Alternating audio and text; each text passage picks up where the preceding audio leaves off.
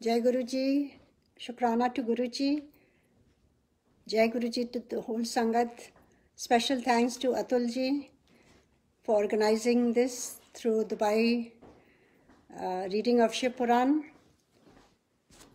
I think all of you are blessed who all is are reading Shiv Puran because वो गुरु जी की blessed करी हुई है। और uh, गुरु जी अक्सर बहुत संगत को बोलते थे कि शिव पुराण ज़रूर पढ़ना चाहिए।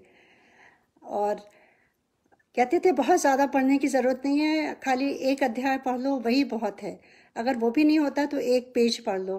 गुरु जी हमारे इतने इतने सिंपल गुरु जी इतने प्यार वाले थे कि वो बिल्कुल बहुत इजी कर देते थे अपने भक्तों के लिए उनके उन, उनके तक पहुँचना उनके साथ कनेक्ट होना। ऐसे गुरु जी कहीं भी नहीं मिलेंगे। तो मैं बहुत बहुत थैंक्स आप सबका जिन्होंने मुझे इनवाइट किया इस फॉरम पर। और ये मेरा पहला वीडियो होगा। मैंने कभी भी वीडियो नहीं बनाई क्योंकि मुझे लगता था खाली गुरु जी हैं। मैं खाली अपनी आवाज़ से उनकी महिमा गा सकती हूँ, पर मेरा चेहरा नहीं आना चाहिए। पर आज का टाइम जिस तरह से है, मेरे ख्याल से गुरु जी सब कुछ चेंज कर रहे हैं। तो प्लीज़ कोई भी भूल चूक होगी तो माफ़ करिएगा। मैं अपने आप ही से किसी तरह से सीख करके ये कर रही हूँ। और अतुल जी का बहुत बहुत धन्यवाद जिन्होंने मुझे हेल्प किया गाइड किया। किस तरह से ये वीडियो करना है। Thank you so much please आप उसमें मुझे बता दें कि आप लोग सुन सकते हैं कि नहीं सुन सकते हैं। मेरी वॉइस आप तक जा रही है। आप बस मैसेज कर दीजिए मुझे बस। तो मैं अपना सत्संग शुरू करूँगी।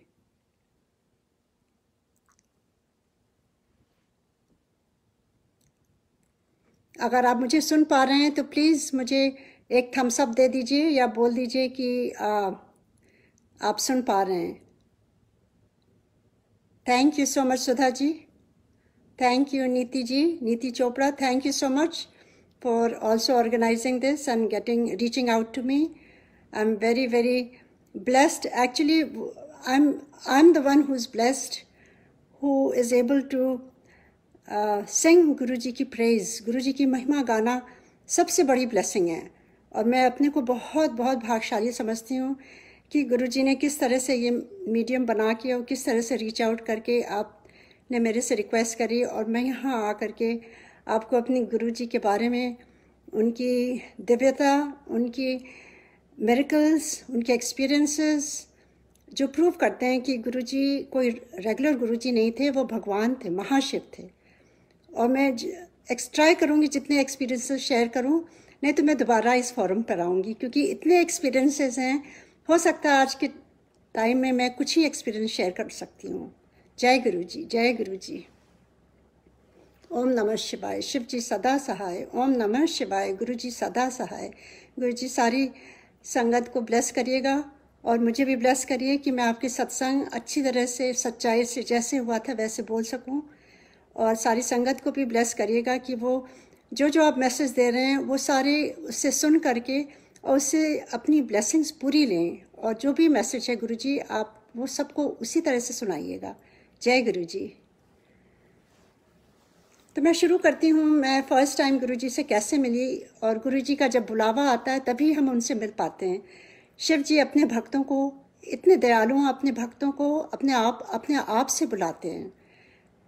तो मैं हम यूएस में बहुत सालों से थे। मेरी तीन बेटियाँ हैं और मेरे बच्चे यहीं पैदा हुआ यहीं रेज हुए। मैं भी मुझे भी यहाँ पर फोर्टी टू ईयर्स हो गए हैं। तो आ, मेरी जो बीच वाली बेटी है वो यहाँ पर बॉर्न हुई थी यूएस में ही और आ, उसको बचपन छः वीक की थी तभी से उसको बुरा आस, आसमा का अटैक शुरू होने लगा था। और वो जैसे जैसे बड़ी हो रही थी, वो अटैक्स और भी बुरे होते जा रहे थे। और मतलब सब ट्रीटमेंट हो चुका था और आस्थमा का जैसे आप जानते हैं, कोई उसका इलाज नहीं है। खाली आप उसको मैनेज करना पड़ता है। तो डॉक्टर्स ने कहा, अब इसको इन्हेलर नेबुलाइज़र उसी पर रहती थी वो। और मैंने सारे ट्रीटमेंट करा लिए। इंडिया में फ़िश ट्रीटमेंट भी कराए आयुर्वेद आयुर्वेद होम्योपैथी नेचुरोपैथी सब कुछ ट्रीटमेंट करा लिया था, किसी से भी उसको फ़ायदा नहीं हुआ। फिर ऐसे टाइम बीता बीता गया, उसको बहुत ज़्यादा एलर्जीज भी थी, जो वो कोई मिल्क प्रोडक्ट नहीं खा पाती थी। उसको ब्लीच से एलर्जी थी ग्रास से फ्लावर से, ना पार्क में जा सकती थी, ना स्विमिंग कर सकती थी, ना कोई दूध की कोई चीज़ खा सकती थी, ना आइसक्रीम ना चीज़ तो बहुत ही उसका, बहुत ही डिफरेंट चाइल्डहुड था। और मुझे बड़ी चिंता रहती थी कि लोग कहते हैं जैसे बड़ी होगी ठीक हो जाएगी पर जैसे जैसे बड़ी हो रही है और भी बुरा उसका आस्थमा हो रहा था। और मैं शिव भक्त हूँ मैं शिव जी की आराधना करती थी और उनसे बस एज अ मदर एक ही मैं रिक्वेस्ट करती थी और एक ही मेरी प्रेयर थी कि ये इसको कॉलेज जाने से पहले इसका आस्थमा ठीक कर दीजिएगा। एनीवे anyway, उसी दौरान हम 96 में वो भी गुरुजी का बुलावा था कि मेरे हस्बैंड का ओवरसीज़ असाइनमेंट सिंगापुर में हुआ। और हम सियाटल से सिंगापुर मूव हो गए। और वहाँ जा कर के वहाँ पर भी उसको बहुत ज़्यादा एलर्जीज थी। उस समय वो फोर्टीन ईयर्स की थी। वो खाली इन्हेलर पर ही रहती थी। हर दो घंटे में उसको पफ्स लेने पड़ते थे। अटैक होता था तो उसको फिर नेबुलाइज़र देना पड़ता था। तो ऐसे ही चल रहा था। और कोई भी वो ना पार्क में खेल सकती थी, ना बाहर अपने उसमें कैंपिंग में जा सकती थी स्कूल के साथ की तरफ़ से। कुछ भी मतलब बहुत ही रिस्ट्रिक्शंस थी। उसी दौरान नाइन्टी एट में एक बार हम इंडिया गए और वहाँ पे हम, मेरे हस्बैंड के चाचा जी हैं। उन्होंने हम लोगों से कहा, तुम लोग परेशान हो।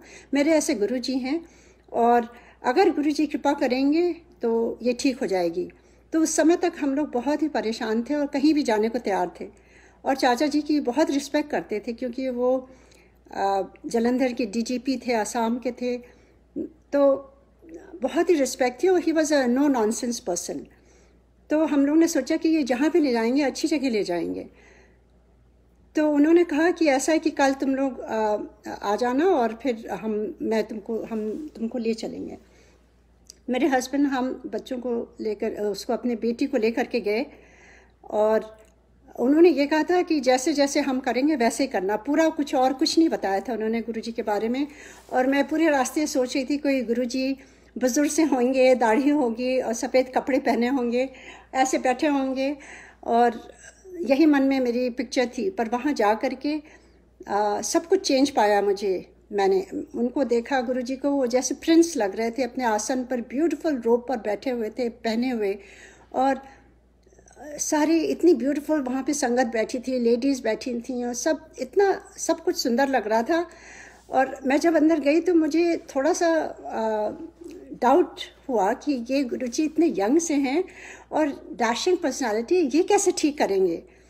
और आ, कई लेडीज़ उनके पैर दबा रही थी और बहुत ऊँचा ऊँचा शब्द बज रहा था और हम लोग पंजाबी नहीं है तो मुझे शब्द बिल्कुल भी समझ में नहीं आ रही थी। एनी anyway, चाचा जी ने जब प्रणाम किया तो हम लोगों ने भी उनको प्रणाम किया। मेरी बारी जब आई जब मैंने प्रणाम किया तो गुरु जी ने मेरे बारे में सब कुछ बता दिया। मेरा नाम मेरे बच्चों का मेरे सिबलिंग्स मेरे पेरेंट्स का सब कुछ बता दिया उन्होंने। और आ, मुझे कुछ आ, समझ में नहीं आया। मैंने सोचा शायद चाचा जी ने बता दिया होगा। I didn't think too much about it उस समय मेरे ब्रदर का प्लेन क्रैश हुआ था। ही वॉज़ ओनली फोर्टी और चौपर में आर्मी में थे और he had just pass away and I was going through lot of depression within myself I was very very sad और गुरु जी ने वो भी बता दिया मुझे। एनी anyway, मैं जा कर के बैठ गई। थोड़ी देर बाद मैं इधर उधर देख रही थी और मुझे थोड़ा डाउट हो रहा था कि गुरु जी इतने डैशिंग पर्सनालिटी हैं ये कैसे करेंगे ये कैसे ठीक करेंगे मेरी बेटी की को? तो मुझे समझ नहीं आ रहा था और शब्द भी इतने ऊँचे बज रहे थे। मैंने कहा इतने लाउड क्यों बज रहे हैं यहाँ पर? इतना सब कुछ डिफरेंट लग रहा था मुझे. एनी anyway, मैं ध्यान में तो नहीं लग लगी उस समय और बस इधर उधर देख रही थी लोगों को। थोड़ी देर बाद गुरुजी ने मुझे बुलाया और उन्होंने आ, मेरे से कहा कि तू डाउट कर रही है इतने डाउट का कोई काम नहीं है। इतने सारा प्रैक्टिकल होता है। तो मैं गुरुजी की तरफ़ देखने लगी और मैं रोने लगी, क्योंकि गुरुजी का और इतना स्ट्रांग होता है कि आप आप उस समय एकदम ज़ीरो हो जाते हैं। आपका अपना कोई अस्तित्व नहीं रहता है। आपकी अपनी कोई आइडेंटिटी नहीं रहती है। तो मैं वैसे भी इतनी भरी हुई थी, दर्द में थी अपनी बेटी की वजह से मैं रोने लगी और मैंने सब कुछ उनको बता दिया, गुरु जी, कैसे ना डाउट करूँ? मैं, मुझे इतनी प्रॉब्लम हुई, मेरी बेटी को इतनी प्रॉब्लम है, कैसे ठीक होगी? अब ये हो गया, वो हो गया। सारे जो जो मेरे बैगेज था इतने सालों का, सब कुछ मैंने गुरु जी को रोते रोते बता दिया। गुरु जी ने बड़े प्यार से सुना और उसके बाद उन्होंने ऐसे अपना हाथ उठाया और कहा, जा, मैंने तेरी बेटी का कल्याण कर देता। और उस समय मुझे समझ नहीं आया कल्याण का महत्व क्या होता है। मैंने सोचा शायद पंजाबी में ऐसे ही कहते होंगे।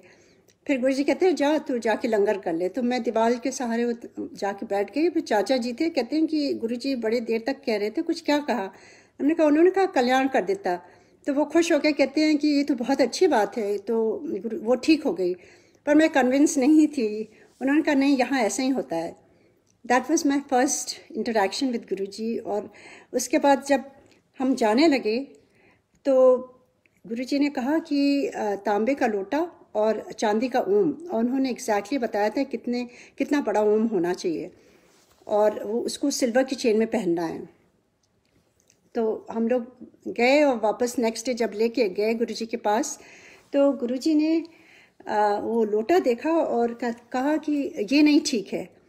तो मैं समझी नहीं, कहते हैं कि मुझे ब्लेस करने के लिए बेस्ट होना चाहिए। ये लोटे में दाग है और डेंट था। कहते हैं कि जिसमें जो भी लोटा लाओ वो बेदाग होना चाहिए और डेंट नहीं होना चाहिए चमकता हुआ होना चाहिए। एनी वे फिर उन्होंने एक शॉप की आ, का नाम भी बताया कहा कि वहाँ से लेके आना है। हम लोग नेक्स्ट डे फिर वहाँ से लेके गए।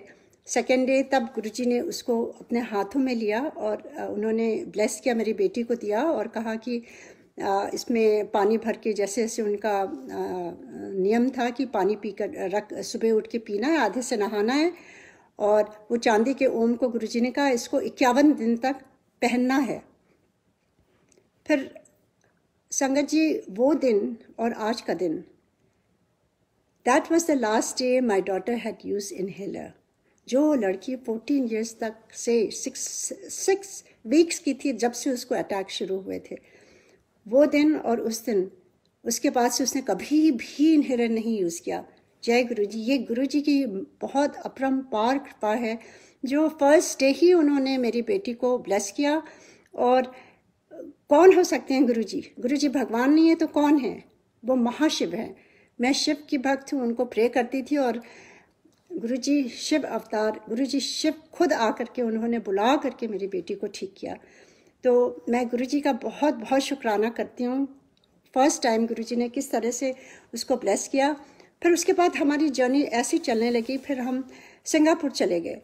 और सिंगापुर में मैंने वो चांदी का ओम पहना दिया था। जब हम वापस सिंगापुर आए, एक दिन मेरी बेटी वहाँ बैठी हुई थी होमवर्क कर रही थी और वो चांदी का ओम अपने आप गिर गया। तो मैंने कहा, ये क्या हो गया? ये गुरुजी की ब्लेसिंग है। मैंने दोबारा उसको दूसरे चेन में डाल के पहनाया। सेकेंड डे वो फिर गिर गया।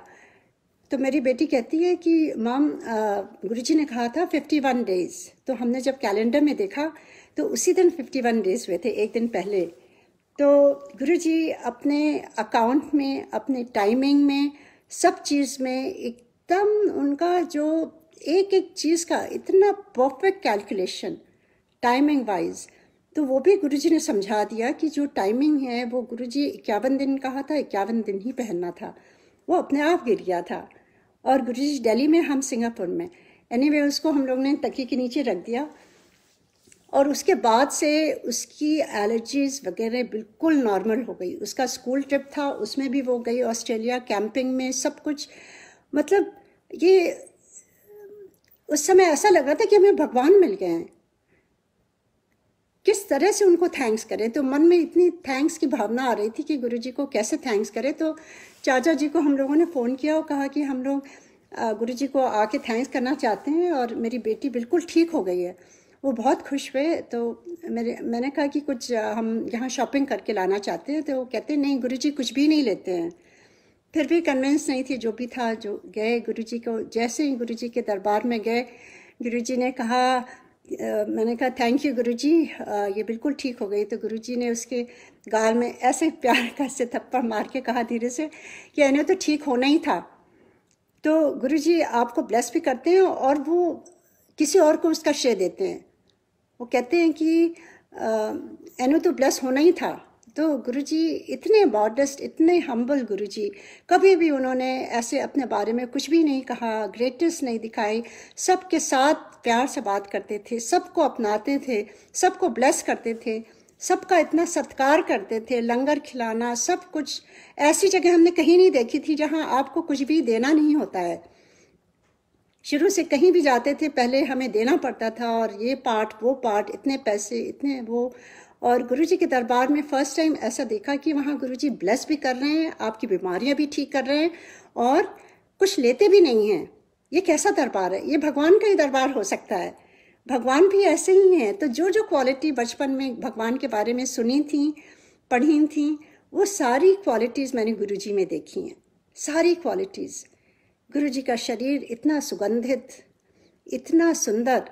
जैसे शिव जी का है, उसमें एक श्लोक आता है, सुगंधित तो गुरु जी का एक एक अंग से सुगंध इतनी, जैसे पुंज हो, इतनी इतनी ज़्यादा रोजेस की फ्रेग्रेंस रहती थी गुरु जी की। आप उनके पास बैठ जाओ तो आपकी बॉडी से भी सुगंध आने लगती थी, आपके बालों से, आपके कपड़ों से। अगर गुरु जी की कृपा हो, अगर आप उनके उनके चरण स्पर्श कर लें, उनको छू लें, उनके हाथ छू लें तो आपके हाथों में कितने दिनों तक सुगंध रहती थी। आप जितना भी वॉश कर लो, ये भगवान ही है, पूरे भगवान है। फिर उसी प्रकार अब मेरी बेटी ठीक हो गई, अब मुझे लगने लगा कि गुरु जी हमें भगवान मिल गए हैं। और फिर सिंगापुर में बिल्कुल मन नहीं लगता था। जो भी छुट्टियाँ होती थी, हम पूरे समर भर तीन महीने वहीं आके रहते थे। नोएडा में मेरे पेरेंट्स हैं, उन्हीं के पास आ जाते थे और वहीं से जाते थे गुरु जी के एम्पायर स्टेट तो ऐसे ही चलता रहा। फिर उसके बाद क्या हुआ कि एक बार हम जब सिंगापुर आ रहे थे सिंगापुर से गुरु जी की बर्थडे में आ रहे थे तो हमारे एक फैमिली फ्रेंड है, प्रेम सिंह। तो ये मैं बताना चाहती हूँ कि गुरु जी अंतर्यामी हम सिंगापुर में थे, जो हो रहा था, सब कुछ गुरु जी को पता रहता था। एक एक चीज़ उनको खबर रहती थी। हमें कुछ बताने की ज़रूरत नहीं होती थी। तो प्रेम सिंह उस समय इंडिया के एम्बेसडर थे सिंगापुर में। फैमिली फ्रेंड थे तो वो हमारे घर आए हुए थे। और ऐसी बातें हो रही थी, वो जब जाने लगे तो हमारे हॉलवे में गुरु जी का स्वरूप जो लगा हुआ है तो उनको, उसको देख करके वो वो बैठ के कहने कि ये कौन है? बहुत पावरफुल है। तो हम लोग ने गुरु जी के बारे में उनको बताया और वो कहते हैं कि मुझे भी इनके दर्शन करने हैं। तो हमने कहा, ठीक है, हम लोग गुरु जी के बर्थडे में जा रहे हैं तो आप ज़रूर आइए। कहते हैं, ठीक है, हम साथ में चलेंगे। तो उसके बाद दो तीन दिन पहले उनका फ़ोन आया कि मैं नहीं जा पाऊँगा इस बार क्योंकि कोई मिनिस्टर्स आ गए इंडिया से। नेक्स्ट टाइम जाऊँगा। ठीक है, फिर हम लोग गुरु जी के दरबार में गए। उनकी बर्थडे से पहले जैसे ही मेरे हस्बैंड ने मत्था टेका, गुरु जी ने मेरे हस्बैंड से कहा, और प्रेम सिंह नहीं आया? तो हम लोग एकदम शौक हो गए कि कैसे, गुरु जी मतलब ये एक्सपीरियंसेस दे के गुरु जी ने हमें समझाया कि गुरु जी अंतर्यामी हैं, उनको सब कुछ मालूम है। उनको कुछ बताने की ज़रूरत नहीं है। और उसके बाद फिर एनी anyway, आप काफ़ी पुरानी संगत को मालूम होगा कि प्रेम सिंह जब रिटायर होके दिल्ली आए हैं तो गुरु जी के कितने बड़े भक्त और आ, हमेशा वहाँ बैठे रहते थे गुरु जी के चरणों में और गुरु जी ने बहुत ब्लेस किया उनको। तो ये मैं छोटा सा एक्सपीरियंस शेयर करना चाह रही इसके बारे में, और उसके बाद इतने सत्संग गुरु जी के स्वरूप के हैं कि कैसे गुरु जी ने आँखें खोलकर मेरे बेटे को दर्शन दिया। जब हम सिंगापुर वापस जाते थे, मन नहीं लगता था और हमेशा लगता था कि गुरु जी के दर्शन को कब जाए। जैसे आपको एक लगन लग जाती है भगवान से, आपको खाली उनकी बातों में रस आता है, खाली उनके बारे में सोचने में अच्छा लगता है। सत संगत उस समय नहीं होती थी, सिंगापुर में कुछ भी नहीं था ऐसा होता था कि बस शब्द सुनने को मिल जाएँ और गुरु जी के बारे में मैं फ़ोन करके पूछती रहती थी वहाँ पर। तो एक बार उस दिन गुरु नानक देव जी का जन्मदिन था तो मैं कभी वहाँ गई नहीं सिंगापुर में गुरुद्वारे में। तो मैंने सोचा मैं थोड़ा सा खड़ा प्रसाद बना करके किचन में और फिर जाएँगे हम लोग। मेरा बेटा छोटा था उस समय छः पाँच छः साल का था। वो बॉल से खेल रहा था हॉलवे में और गुरु जी का स्वरूप लगा था जिसमें उनकी आँखें बंद हैं और आ, उनका चेहरा उनके हाथों में ऐसे है। तो वो बॉल वहाँ पे गिरी तो वो उठाने लगा तो उसको गुरु जी का दर्शन हुआ। वो आँखें बंद थी गुरु जी ने आँखें खोल करके उसकी तरफ़ स्माइल करके देखा। और वो एकदम से डर गया। वो दौड़ा दौड़ा आया किचन में और मेरे से कहता है मैं वहाँ नहीं जाऊँगा। मैंने कहा क्यों? तो कहता है मुझे ऐसे वो पिक्चर से गुरुजी ने खोल करके I could even see his pupils इतना क्लियर दर्शन दिया। मैं भी कई मैंने देखा मैंने कहा मुझे भी दर्शन हो जाएँगे पर मुझे नहीं दिखाई दिए गुरुजी। दर्शन जिसको देना होता है गुरुजी उसको ही देते हैं। तो एनी anyway, उसको ब्लेस किया और आ, उसके बाद नेक्स्ट टाइम जब हम गुरुजी के दरबार में गए तो जैसे ही मेरे बेटे ने गुरुजी को प्रणाम किया गुरुजी कहते हैं ऐसे गुरुजी का इतने जोवियल थे गुरुजी इतने स्माइलिंग इतने वेलकमिंग ऐसे धीरे से ऐसे सर कहते हैं और देखा था देखा था मेरी पिक्चर तो आ, हम समझ गए कि गुरु जी को कुछ बताने की ज़रूरत ही नहीं होती है वही एक्सपीरियंस देते हैं और वही आपसे सुनवाते हैं। तो इतने सत्संग हैं और एक बार क्या हुआ कि हम मेरे बेटे का पैर जो था, वो थोड़ा सा लेफ़्ट साइड अंदर की तरफ़ मुड़ा हुआ था एंकल उसका। और बहुत उसको दर्द रहता था। उसकी एड़ी में, उसके एंकल में इतनी पेन रहती थी और इतनी स्वेलिंग रहती थी कि वो किसी चीज़ से टकरा जाता था तो चीखे मारता था। और चलने में भी उसको प्रॉब्लम थी। तो हम लोग बहुत परेशान थे। यूएस में पैदा हुआ था, यहाँ सियाटल में भी उसको दिखाया सर्जन को। और सिंगापुर में भी दिखाया और उसको फिर हम इंडिया गए थे तो वहाँ डॉक्टर सेठी को दिखा के आए थे। और सारे डॉक्टर्स ने कहा था कि इसकी सर्जरी पैर से नहीं, इसके हिप्स से होगी क्योंकि हिप्स इसका टर्न है अंदर की तरफ़। तो it's a very long process छः महीने तक इसका क्रच वो रहेगा और इसको रॉड डलेगी और ये सब काफ़ी लंबा था प्रोसेस और छः महीने तक इसका, इसको ये चल नहीं पाएगा। एनी anyway, हम परेशान थे पर गुरुजी ने शुरू शुरू में गुरुजी बहुत बात करते थे बुला के पूछते रहते थे। फिर एक दिन आया जब गुरुजी ने मेरी तरफ़ देख के कहा आज के बाद बात बिल्कुल नहीं करना। मैं मुझे सब कुछ मालूम है और मैं उसी हिसाब से ब्लेसिंग दूँगा। तो मैं समझ गई कि गुरुजी कह रहे हैं आज के बाद कोई बात नहीं करनी है। और गुरुजी ने कहा टेलीपैथी से बात होगी। एनी anyway, उसके बाद तो खाली जाते थे गुरु जी का दर्शन करते थे और हम लोग वापस आ आते थे। और अगर गुरु जी की कृपा होती थी, तब वो बात करते थे तो हम लोग उनको बताते थे। तो उस दिन मैं डॉक्टर सेठी को दिखा के अपने बेटे को आई थी जयपुर से और वहीं बैठे हुए थे। तो गुरु जी ने मुझे बुलाया और कहा कि कितों गई थी? तो मैंने बताया, मैंने कहा, गुरु जी, पूछ रहे हैं तो बता दूँ। तो मैंने कहा, गुरु जी, ऐसे डॉक्टर सेठी को जयपुर में दिखा के लाई हूँ, इसका पैर का ऐसे ऐसे है। सारा बताया उनको। तो सर्जरी के लिए तो गुरुजी ने एक सेकंड देखा उसकी तरफ़ कहते नहीं सर्जरी की कोई कोल नहीं है। और गुरुजी ने उपाय भी बताया कि किस तरह से ठंडे पानी और गर्म पानी से अल्टरनेट उसकी सिकाई करनी है। और मेरे हस्बैंड से कहा कि इसके एंकल में उनको रोज़ मालिश करनी है और ऐसे ही करना है। यही उपाय बताया गुरुजी ने। एनी anyway, हम लोग वापस चले गए और वैसे ही करने लगे जैसे गुरुजी ने कहा था।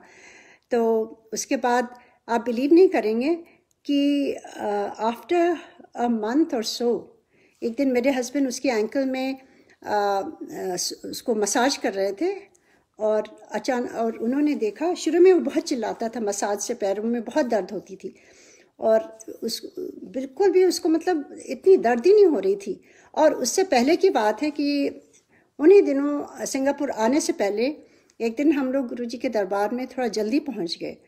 करीब छः बजे थे। गुरुजी अंदर अपने कमरे में थे, वहाँ कोई नहीं था। तो हमने, गुरुजी को प्रणाम किया। मेरे बेटे ने जैसे ही प्रणाम किया तो गुरुजी के आसन के बगल में इतनी बड़ी सी टेबल थी, मार्बल की, बहुत ही हैवी टेबल थी, जिसमें गुरुजी प्रसाद रख के देते थे लोगों को। तो जैसे ही मेरे बेटी का ने जैसे ही प्रणाम किया, गुरुजी के आसन को, वो टेबल, कोई नहीं था वहाँ पर। और वो टेबल अपने आप उसके, उसी एंकल पे आके गिरी है और इतने कस के वो चीखा है क्योंकि उसी एंकल में उसको स्वेलिंग थी, तकलीफ़ थी जो थी, वो इतनी कस कस के रोने लगा और हम लोग भी घबरा गए। उस समय कक्कड़ अंकल थे सेवादार तो वो किचन से आइस लेके आए और मैंने आइस लगाया और वो रोए जा रहा था। मैंने कहा गुरु जी को डिस्टर्ब ना हो। मैं उसको ऊपर ले गई। ऊपर ले जाके उसको सोफे में लिटा दिया और आइस लगाती रही और मैंने कहा, आज हम यहीं ऊपर ही रहेंगे, नीचे नहीं जाएँगे। और वो थोड़ी देर में सो गया और संगत आती रहे, गुरुजी भी आ गए अपने आसन में बैठ के। और जब वो उठा थोड़ी देर बाद तो कहता है कि मेरी बिल्कुल भी मुझे तकलीफ़ नहीं है, कोई स्वेलिंग नहीं थी उसको। और वो कहता है कि हम नीचे जाके बैठेंगे। वो अपने आप से सीढ़ियों से उतर के आया और गुरु जी ने उसका ट्रीटमेंट कर दिया, उसकी सर्जरी कर दी, वो टेबल गिरा के उसके पैरों पर। तो ये बहुत बड़ा सत्संग है। किस तरह से गुरु जी महाराज ने जो उसको छः महीने का उसको करना था और डॉक्टर्स ने कहा था, हो सकता है कि ये सक्सेसफुल हो कि ना हो, ये भी नहीं मालूम। तो गुरु जी महाराज की इतनी दया है, किस तरह से उन्होंने उस उस बच्चे के पैर पर टेबल गिरा करके अपने आप से सर्जरी कर दी। मतलब किस तरह से गुरु जी को थैंक्स करें, शुक्राना करें। गुरु जी बहुत बहुत अनंतम शुक्राना। और इसी प्रकार से ये हमारी जर्नी गुरु जी के साथ चलती रही और गुरु जी ने इतने इतने इतने इतने सत्संग दिए हैं। अब इस समय क्योंकि ये कोविड वायरस फैला हुआ है तो इसलिए मैं सार्स का ज़रूर सुनाऊँगी। सिंगापुर में आप लोगों ने सुना ही होगा 2003 में या फोर में सार्स आया था और इतना बुरा था उस समय कि मतलब इतना स्ट्रिक्ट थे कि हम लोग बाहर निकल ही नहीं सकते थे। कोई ग्रोसरी को नहीं जा सकता था और छोटा बच्चा था बाहर खेल नहीं सकता था। बहुत ही आ, मतलब एक भयानक सी बीमारी की तरह लग रहा था और जैसे अभी हो रहा है उस समय आ, कुछ पता नहीं था उसका और सिंगापुर गवर्नमेंट बहुत ही स्ट्रिक्ट है बहुत स्ट्रिक्ट है। तो बिल्कुल ही घर के अंदर बैठे बैठे खाली न्यूज़ न्यूज़ देखते देखते it was taking a toll emotionally और हमारे मेंटली भी बहुत ज़्यादा हम परेशान थे। और बस ये लग रहा था हम किसी तरह से गुरु जी के दरबार में पहुँच जाएँ। एनी anyway, मेरे हस्बैंड ने कहा चलो ठीक है चलते हैं। तो हम लोगों ने रिस्क लिया और हम लोगों ने फ़्लाइट एकदम एम थी जैसे हम लोगों के लिए कोई नहीं ट्रैवल कर रहा था। हमने मास्क पहन करके हम लोगों ने फ़्लाइट ली। मेरे बेटे ने और, और मेरे हस्बैंड हम तीनों जन फ्लाई करके गए वहाँ। और फिर उसके बाद गुरु जी के दरबार में नहीं गए क्योंकि हमें अंदर से थोड़ा गिल्टी लग रहा था। कि हम लोग कहीं कैरियर ना हो और हम नहीं चाहते थे किसी को मेरी वजह से हो। हम घर भी नहीं गए नोएडा। मेरे हस्बैंड ने वहाँ पर इम्पीरियल में अपना रिजर्वेशन कराया था। हम लोग वहीं होटल में जा कर के वहीं हम लोग रहने लगे। एक दो दिन बीत गया हम लोगों का वहाँ पर पर मन नहीं मान रहा था। ऐसा लग रहा था खाली दूर से गुरु जी का दर्शन करके चले आएँगे। अब अपने अंदर थोड़ा सा समझ नहीं पा रहे थे कि आ, मतलब ये मैं ठीक कर रही हूँ मॉरली कि नहीं अगर गुरु जी के दरबार में जाते हैं पता नहीं क्या होता है। तो पर मन नहीं माना दो तीन दिन के बाद हम लोग बड़े चुपचाप से शुरू में तो हमेशा हम मैं गुरु जी के सा, सामने बैठना चाहती थी कि उनका दर्शन होता रहा उनका उनका सुंदर स्वरूप का दर्शन होते रहे। पर उस दिन जब हम थोड़ा लेट में पहुँचे और हम लोगों ने सोचा था एकदम पीछे जाके बैठ जाएँगे किसी को पता नहीं चलेगा गुरु जी का दर्शन करके हम चुपचाप वापस आ जाएँगे।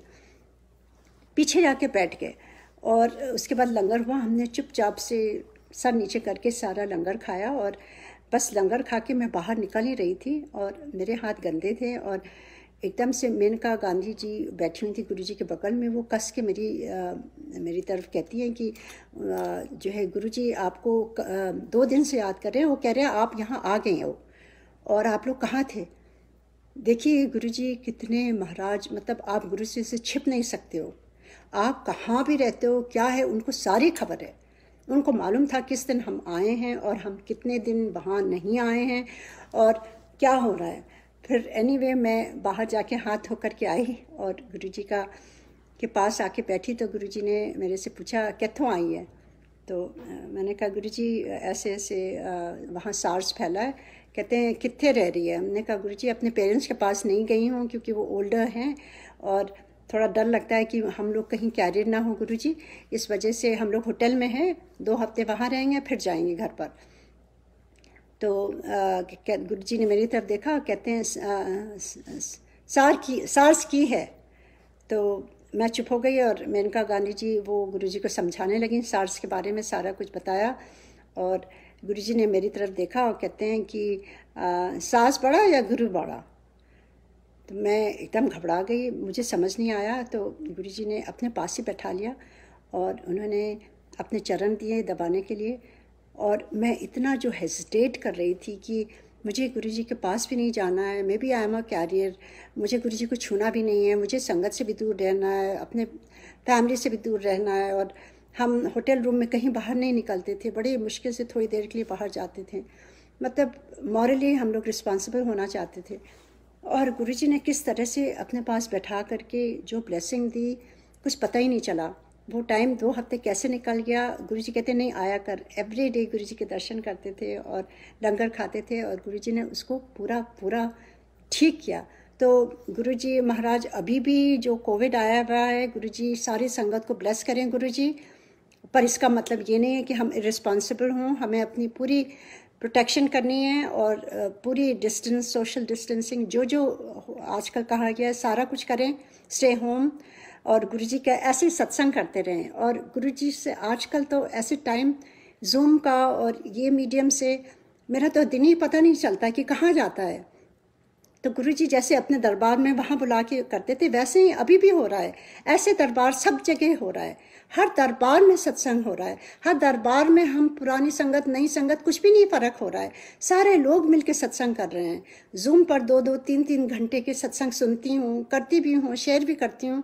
मुझे ऐसा लगता है कि जैसे बस गुरु जी को हम नज़रों से नहीं देख पा रहे हैं, पर महसूस कर रहे हैं कि वो टाइम वैसा ही है। अभी गुरुजी ने इतना ब्लेस किया है, इतना ब्लेस किया है ये टाइम कि हम सारे अपने घरों में बैठ करके गुरुजी से जुड़ सकते हैं विदाउट एनी डिस्ट्रैक्शन और कुछ भी नहीं गुरु जी हमेशा कहते थे, मेरे नाल डायरेक्ट कनेक्शन जोड़ो।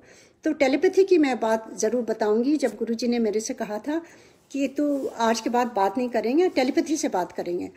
तो मैं समझी नहीं, और मैंने गुरु जी से कहा गुरु जी मैं रोने लगी जब गुरु जी ने कहा, आज के बाद बात नहीं करेंगे तो मैंने गुरु जी की तरफ़ देख कर कहा, गुरुजी पर मैं तो किसी से बात नहीं करती, यहाँ तक अपने पेरेंट्स को भी नहीं बताती हूँ, जो भी मेरे मन में रहता है प्रॉब्लम्स आप ही एक हो गुरुजी, अब हम कहीं नहीं जाते हैं। मैं आपसे नहीं बात करूँगी तो किससे बात करूँगी? तो गुरुजी ने कहा टेलीपैथी से बात करना। तो मैंने कहा गुरु जी टेलीपैथी से कैसे बात करूँगी? मैं तो सिंगापुर में रहते, रहती हूँ, आप यहाँ रहते हैं। तो गुरु जी ने मुझे उसके बारे में बताया, कहते हैं कि जब तू ध्यान में बैठती है ना, तब तू मेरे से बात किया कर। जब तू बात करेगी ध्यान में, तब मुझे, मैं तुझे सारे आंसर्स दूँगा। और संगत जी, वो बात गुरु जी ने कह कह दी तो हो गई। आज भी, जब भी मैं ध्यान में बैठती हूँ, मुझे कुछ भी प्रॉब्लम होती है, मुझे किसी से भी पूछा नहीं रहता, किसी से भी नहीं। वो गुरु जी का ऐसा कनेक्शन डायरेक्ट होता है कि गुरु जी अपनी बात का, आपकी बात का आंसर भी देते हैं। और बस ये है कि अपने नॉइज़ हमें बिल्कुल डाउन कर देनी है और हमें ज़ीरो हो जाना है। हमें एकदम अपनी आइडेंटिफिकेशन छोड़ देनी है। हम जब ज़ीरो होते हैं तब गुरु जी हमारे आंसर्स देते हैं। और यही गुरु जी का वे था बताने का कहने का। और गुरु जी ने कहा था मेरे स्वरूप से बात करना। मेरे स्वरूप जितने मेरे स्वरूप हैं उतने ही मैं हूँ। तो मैं उस समय समझी नहीं थी। तो उसके बारे में मैं ये बताना चाहती हूँ कि एक बार क्या हुआ कि गुरुजी मेरी बेटी का आ, की शादी तय हुई, वो भी गुरु जी की बहुत कृपा है, बहुत बहुत कृपा है गुरु जी की। हम जैसे मेरी तीन बेटियाँ हैं, जैसे हम गुरु जी के दरबार में जाते थे गुरु जी फ़र्स्ट क्वेश्चन कहते थे कि शादी तय की? और हम कहते थे, नहीं गुरु जी और वापस सिंगापुर आ जाते थे। फिर जाते थे फ़र्स्ट क्वेश्चन फिर वही कहते थे, सारी संगत के सामने कस के बोलते थे गुरुजी। और हमें बड़ी शर्म आती थी। मैं अपने हस्बैंड से कहती थी आप पहले जाओ क्योंकि गुरु जी ऐसा कहेंगे और बड़ा बुरा लगता है। पर हमें क्या मालूम कि गुरु जी ब्लेस कर रहे हैं ऐसे कह कह करके। एनी anyway, उसके बाद हम फिर वापस गए।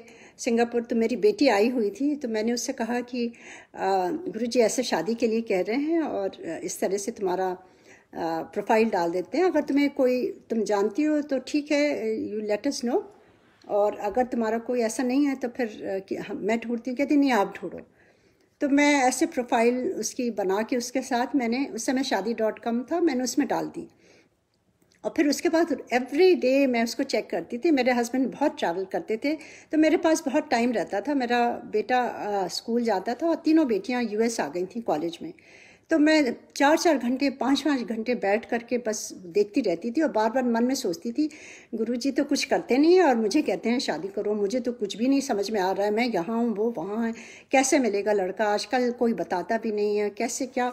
तो एक रात को मैं बैठ करके बड़ी देर तक देख रही थी और मन बहुत कंप्लेन कर रही थी। मेरे हस्बैंड बैठे हुए थे, मैं उनसे कह रही थी, गुरुजी तो कुछ करते नहीं हैं और मुझे, कहती शादी करो शादी करो, मुझे तो कोई मिल ही नहीं रहा है। मैं कंप्लेन कर रही थी, उसी समय घंटी बजी। फ़ोन की घंटी बजी और जैसे ही फ़ोन मैंने उठाया तो गुरुजी कहते हैं, मैं गुरुजी बोल रहा मैं एकदम डर गई। मैंने कहा, जी गुरु जी तो कहते हैं, की कर रही थी? अब मैं हंसने लगी। मुझे समझना है कि मैं क्या बोलूँ। मैं तो गुरुजी के को कंप्लेन कर रही थी कि, गुरुजी, आप ये क्या कर रहे हो? कुछ कर नहीं रहे हो? मुझे आपने इतना बड़ा वो दिया है, कैसे करूँगी मैं? तो मैंने कहा जी गुरुजी, बस कुछ नहीं, मैंने कुछ बोला नहीं उनको। तो गुरुजी ऐसे इस तरह से करके आपको ब्लेस कर देते थे। कोई गुरुजी लॉन्ग चैट नहीं करते थे बस एक सेकेंड पूछा और फ़ोन रख देते थे। He didn't give you opportunity कि आप अपना पूरा स्टोरी उनको सुनाओ। तो एनी anyway, इस तरह से उन्होंने ब्लेस किया जो जो किया। उसके बाद फाइनली एक दिन गुरुजी गुरु पूर्णिमा था मुझे याद है। और बैठे हुए थे गुरुजी अपने एम्पायर स्टेट में। उन्हीं दिनों की बात है। एक दिन पहले दो दिन बाद। बैठे हुए थे और गुरु जी ने अपने चरणों की सेवा दी थी और उनके चरण दबा रही थी और एक तरफ़ मेरे देवर बैठे हुए थे। हम दोनों जन सेवा कर रहे थे और गुरु जी अचानक मेरी तरफ़ देख कर कहते हैं बेटी की शादी तय करी? मैंने कहा, जी नहीं गुरु जी तो कहते हैं जात पात से ऊपर उठ, नहीं तो बैठी रहे। तो गुरु जी ने कितनी बड़ी सीख दी, जो मैं खाली अपनी जात में ढूंढ रही थी। मैंने जाके उसको चेंज कर दिया, खाली हिंदू लिख दिया। आप बिलीव नहीं करेंगे कि उसी दिन मुझे अभी जो मेरे सन एंड लॉ हैं, उनका मैसेज आया और मैंने अपनी बेटी को फॉरवर्ड किया, किस तरह से बात बनी और विद इन फ्यू मंथ्स सब कुछ सेटल हो गया और गुरुजी की कृपा से उसकी एंगेजमेंट हो गई और गुरु जी हम लोग सिंगापुर आ गए, से वापस सियाटल आ गए थे। 2006 में गुरु जी बहुत बहुत ज़ोर देते थे। दो तीन साल पहले से कहने लगे, तू यूएस वापस जा, अपनी कुड़ियाँ दा ब्याह कर। और हम लोगों का बिल्कुल यहाँ आने का मन नहीं था। हम लोगों ने सोचा था सिंगापुर से हम गुड़गांव शिफ्ट हो जाएँगे और गुरु जी के आसपास ही रहेंगे। क्योंकि देखिए, इस जन्म में अगर हमें भगवान मिल गए और क्या चाहिए? ये जन्म हमारा सफल हो गया। क्योंकि हमारा ये बॉडी पाना, इस धरती पे आना, हमारा यही था कि भगवान हमें दर्शन देंगे। और मुझे लगता है कि वी आर वेरी लकी कि हमने साक्षात भगवान महाशिव के दर्शन करे। और उनकी ब्लेसिंग्स ली। अब मुझे लगता है कि अब पूरी, पूरा एम मेरे लाइफ का यही है कि मैं गुरु जी की महिमा गाऊँ, गुरु जी के बारे में बताऊँ। गुरु जी ने जो जो एक्सपीरियंस करें दिए हैं, वो मेरे नहीं हैं। जो आप एक्सपीरियंस मैं बोल रही हूँ, इसमें मेरी, मेरा कोई गुणगान नहीं है, इसमें मेरा कुछ भी नहीं है। मैं किसी लायक नहीं हूँ। आई एम ज़ीरो ये गुरु जी का, मेरे गुरु जी का महान, की महानता है, उनकी कृपा है, उनकी ब्लेसिंग है। कहते हैं कि उस तक, तेरी उस तक कर कर जीवा। वही मुझे लगता है कि जितना मैं गुरु जी की उस तक करती हूँ, उतनी गुरु जी मुझे एनर्जी देते हैं और मैं इतनी खुशी देते हैं। मुझे अंदर से किसी चीज़ में खुशी नहीं होती है। जितनी मुझे गुरु जी का सेवा करना गुरु जी के बारे में बताना गुरु जी का सत्संग करना, ऐसा लगता है कि ये कार्यक्रम उस समय भी ऐसे ही चलता था, जब जाते थे हम सिंगापुर से, उतनी खुशी होती थी और आज भी उतनी खुशी होती है।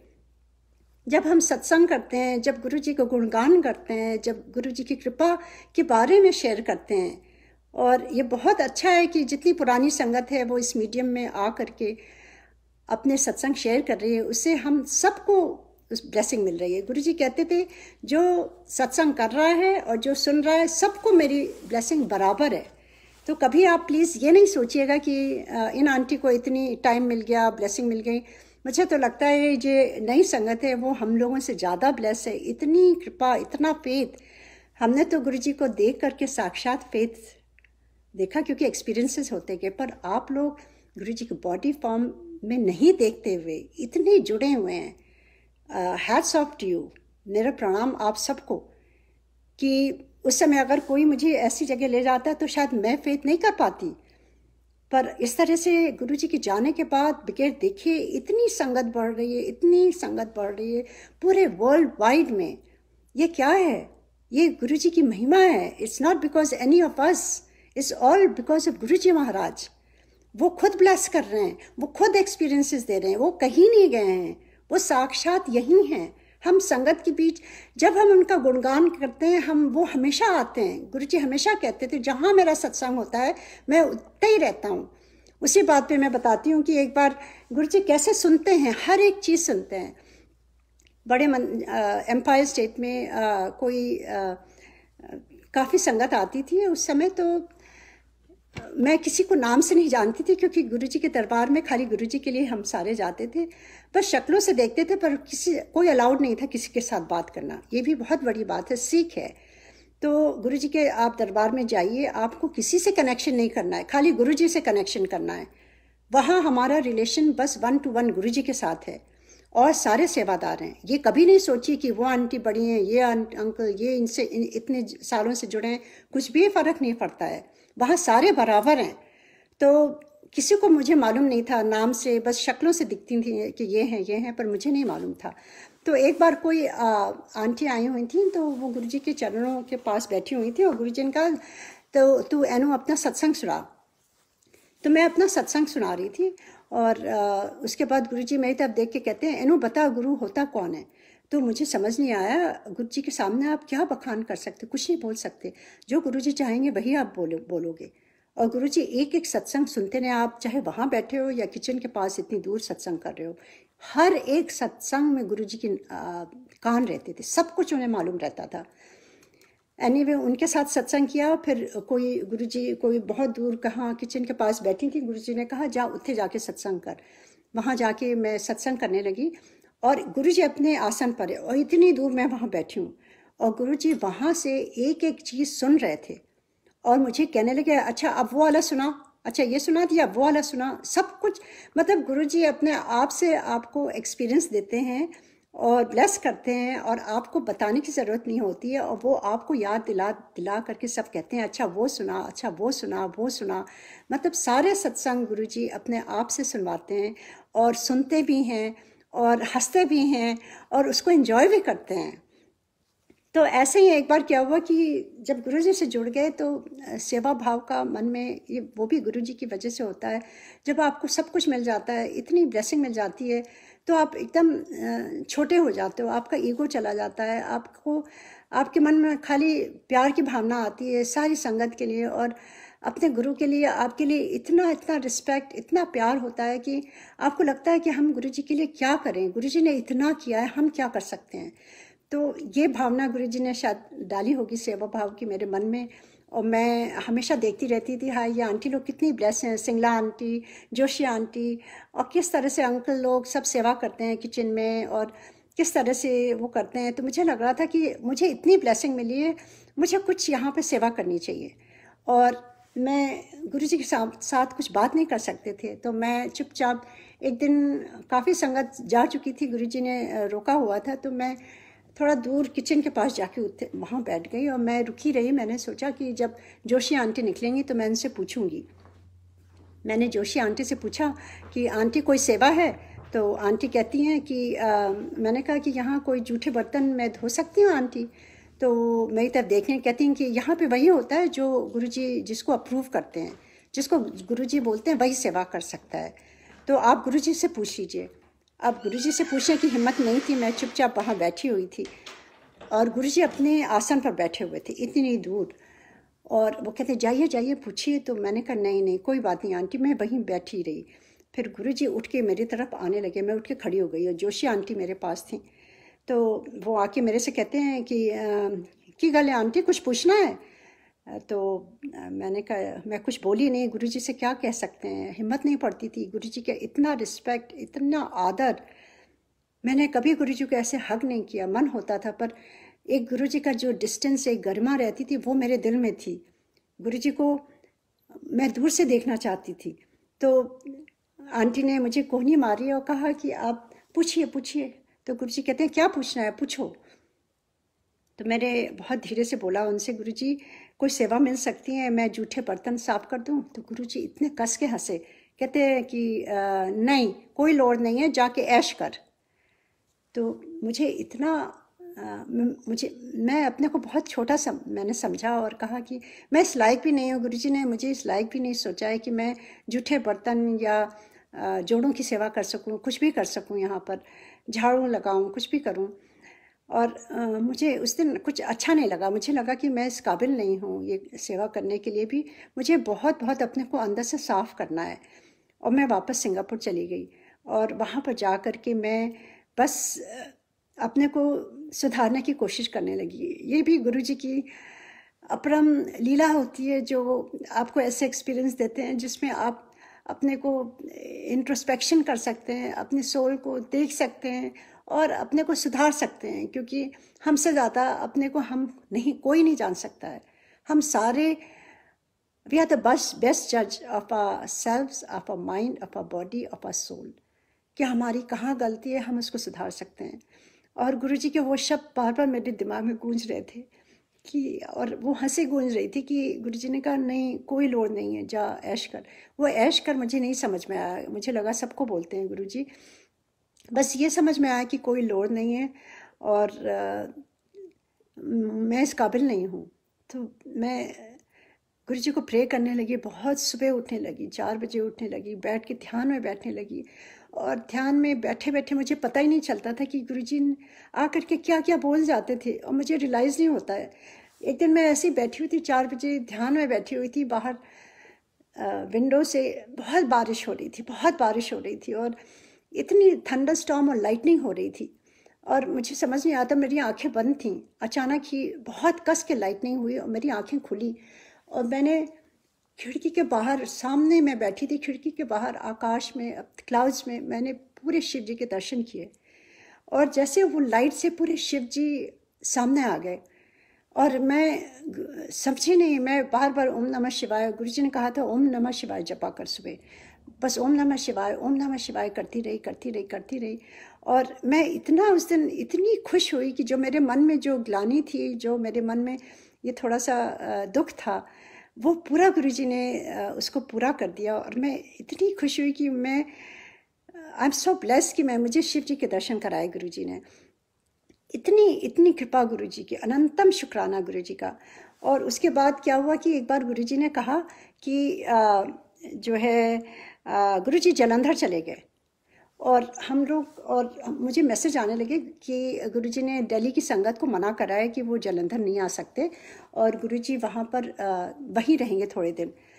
मुझे बहुत तकलीफ़ हुई क्योंकि हम लोग अक्सर खाली चार दिन के लिए थर्सडे टू संडे संडे हम लोग वहीं चले आते तो संडे रात में वापस आ आते थे, खाली गुरु जी के दर्शन के लिए। तो ये सोच कर के मन बड़ा परेशान सा हो रहा था कि अब कैसे दर्शन होंगे गुरु जी के? और गुरुजी ने आ, मैं बार बार सोचती थी कि हम लोग किस संगत में ऐड होते हैं। मैं तो सिंगापुर में रहती हूँ और दिल्ली की संगत और मुझे समझ नहीं आ रहा मैं कहाँ बिलोंग करती हूँ गुरु जी तो ऐसे ही मैंने अपने चाचा जी को उन्हीं को फ़ोन किया और उनसे कहा कि गुरु जी से आप प्लीज़ फ़ोन करके पूछ लीजिए कि हम लोग आ सकते हैं दर्शन के लिए कि नहीं आ सकते। और गुरु जी ने दिल्ली की संगत को मना किया है, पर हम क्या बिलोंग कहाँ बिलोंग करते हैं? क्या करूँ मैं? बहुत मन हो रहा है गुरु जी का दर्शन करने का। तो चाचा जी ने उनको फ़ोन किया और गुरु जी ने उस दिन, गुरु जी ने चाचा जी से कहा कि उन्हें पूछने की लोड़ नहीं है उन्होंने टेलीपैथी से मालूम है मैं कहाँ हूँ और पूरा खुला दरबार है उन्होंने कहा हम लोगों के लिए। और मैं चाचा जी का जब फ़ोन आया वो कहने लगी आज तो तुम नाचने लगोगी। गुरुजी ने इतनी बड़ी बात कह दी है। तो मैं इतनी खुश हुई क्योंकि गुरुजी आपके बारे में आपका नाम भी ले लेते थे तो ऐसा लगता था पूरा जहाँ का खजाना मिल गया है कुछ नहीं चाहिए आपको। अगर आपके बारे में पूछ लेते थे लगता था कि जैसे इससे बढ़ के खुशी दुनिया में है ही नहीं। इतना इतना गुरुजी का शुक्र। एनी anyway, हम लोग गए दिसंबर का टाइम था।